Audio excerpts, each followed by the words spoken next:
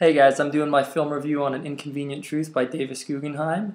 Um, it's a it's a film that won two Academy Awards in 2006, and it's pretty much um, you know it's got some um, documentary elements and specific things, but a lot of it just kind of follows Al Gore's presentation on global warming and climate change, and um, you can see why you know it's it made over 20 million dollars in the United States because this topic is really important, and I think that's the key to it. There's um you know, it's it's pretty much just that. But there are some parts where you know it pans away and it and it and it shows Al Gore's childhood and growing up and his mission going around the world trying to trying to save the world from climate change.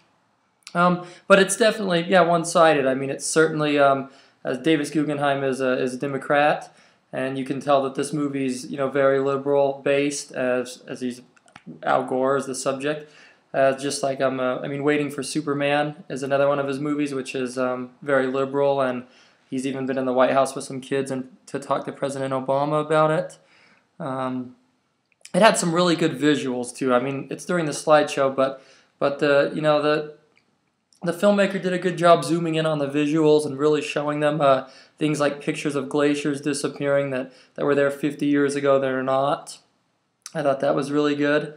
Um, of course, it's a really realistic film, as he doesn't. There's no narration or anything from the filmmaker. It's just Al Gore talking pretty much the whole time. Um, and I think, in a way, though, you can say the roots of a film like this can be based in like the propaganda, political propaganda films of the 1940s or 50s. I mean, they have, they're often based around political figures and issues that are important to that country at that time. And so, although I agree with the topic in an inconvenient truth, I just think that there could be an origin there.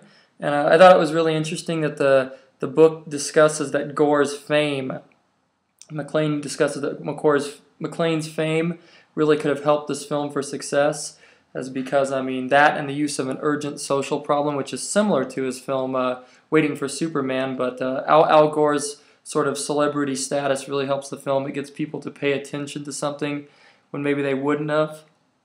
Um, another thing, just from watching the film, some of the things I noticed a lot, there was a lot of zooming in and out with the camera panning in and out, and I think they did a really good job with that, of course, to help you capture when Gore was speaking or when an important visual needed to be seen.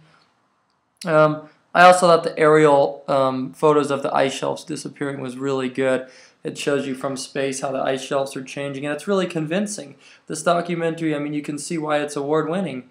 I mean, I really enjoyed watching it. I got into it, and it really does make you see the importance of global warming. And I think that uh, it goes beyond just being a film, you know, for entertainment, as some some are. This is very important for our world, and uh, overall, yeah, just I thought it was really good. Um, that's pretty much all I have to say about that. So, see you later.